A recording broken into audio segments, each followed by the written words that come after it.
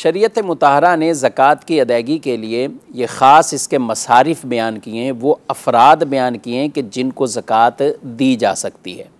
अब उसकी जो बुनियादी शरात हैं, उनमें से ऐसा ज़क़़त का हकदार शर्य फ़कीर, जो कि साढ़े बावन तोले चांदी के बराबर उसके पास ना रकम मौजूद हो, ना हाजत से जायद ऐसी कोई रकम या सामान या सोना चांदी अलगर्ज के उसके पास अगर कुछ चीज़ें मौजूद हैं तो ये तमाम को मिलाई जाएँ तो साढ़े बावन तोले चांदी के बराबर ये रकम ना पहुँचे तो वो शर्य फ़कीर है। शरी फ़कीर वो होता है कि जिसके पास कुछ माल है, लेकिन निसाब तक नहीं पहुँच रहा। तो ऐसे शख्स को बग़ैर मांगे वो देना जायज़ होता है। उसका मुतालबा करना, सवाल करना ये जायज़ नहीं होता। और एक वो शख्स होता है जो और इससे भी नीचे, यानी कहें गुर्बत में, मिसकीन, जिसके पास एक वक्त का खाना भी नहीं। तो ये भी ज़क़़त के हकदार हैं, जिनको आप ये सवाल करके भी अगर लेते हैं तो इनको ज़क़़त दी जा सकती है। अलबत् पेशावर भिकारी जिन्होंने अपना पेशा ही मांगने का बनाया हुआ है, उनकी मदद करना ये भी जायज़ नहीं है, उनका सवाल करना ये भी जायज़ नहीं है तो ऐसों को ज़क़़त बिल्कुल भी आप ना दें।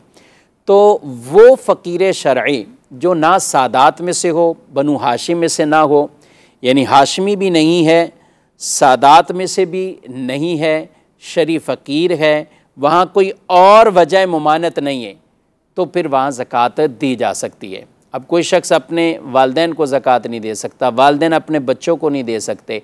बच्चे अपने, यानी वालिद, दादा, दादी, पोता, पोती नाना नानी नवासा नवासियाँ, इन सबको ज़क़़तें नहीं दी जा सकती। शोहर अपनी बीवी को ज़क़़त नहीं दे सकता, बीवी अपने शोहर को ज़क़़त नहीं दे सकती।